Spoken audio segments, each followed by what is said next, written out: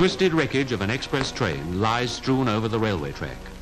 This was the scene at Weedon, 12 miles south of Rugby, a few hours after the Liverpool to Euston Express plunged down an embankment while travelling at around 60 miles an hour. Eight people were killed immediately. Five more died later in hospital, to bring the total casualty roll to 13 dead, 40 injured. The train had been carrying 700 passengers, and when the engine crashed down the embankment, it took 10 of the 15 coaches with it.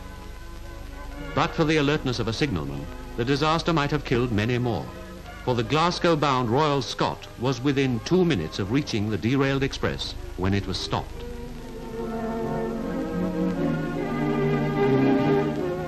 With both lines blocked, breakdown gangs were at work throughout the weekend to relay the track.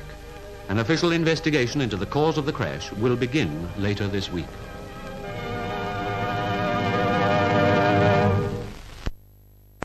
Miraculously, only two people were killed and eight injured when, near the little town of Witham in Essex, early on Tuesday morning, the Peterborough to London mail train ran into the back of a slow-moving goods train.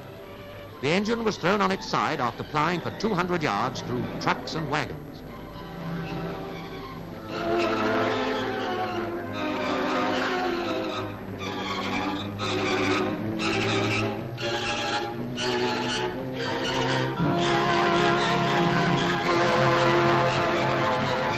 Seed potatoes from Scotland had been one of the principal freights carried by the goods train. And among the debris and broken iron that littered the track, salvage men were at work collecting them.